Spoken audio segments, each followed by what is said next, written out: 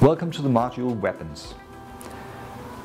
In the best of two worlds, you won't be carrying a weapon as a bodyguard, at least if you work in the Western world. However, in some countries, and especially in the Middle East and in Asia, you will always be wearing a weapon.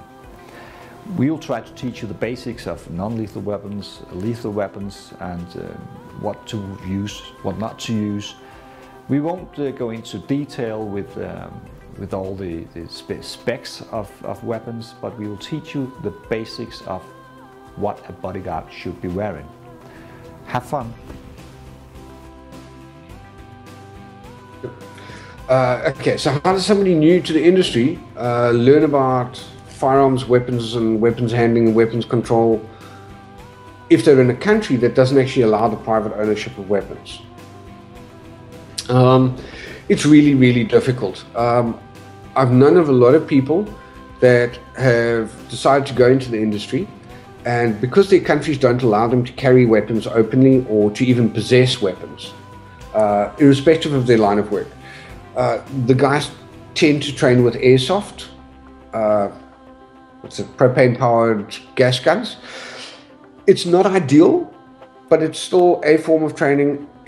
Does teach you a level of familiar, familiarization with the weapon, as long as we're talking about training and not playing airsoft as a sport. That's totally different.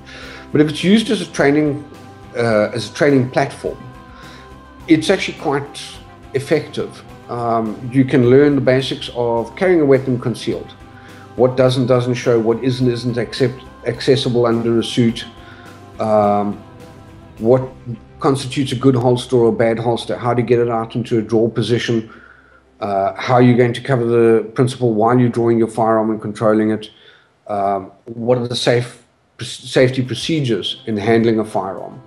Um, so there is a degree of what you can learn about firearms handling from airsoft and simulated weapons, if the country that you're in you to.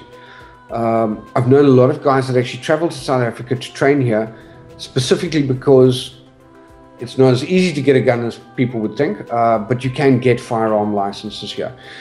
If you've got the right justification and motivation for it, and you've got the time and patience to do the paperwork and wait for your criminal record clearance and all the fun and games that goes with it, um, then there's not a problem. South Africa, you can own firearms, you can carry firearms, you can have sporting firearms. You can have semi-automatic firearms, uh, pistols, semi-automatic rifles, assault rifles. The only thing you can't have in South Africa is a fully automatic rifle. The only way you get to train with those in South Africa is with the police or with the military.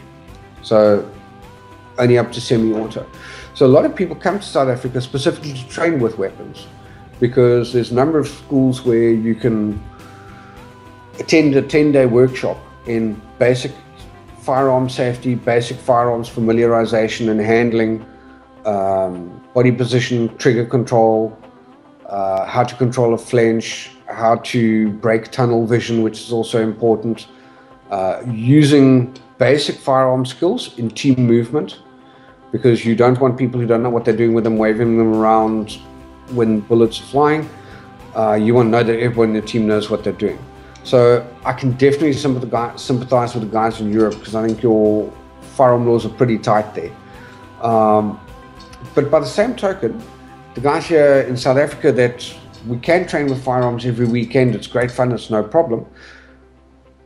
I always advise the guys locally don't get complacent. Don't always think you're going to have it. The rule could change tomorrow and you may not be able to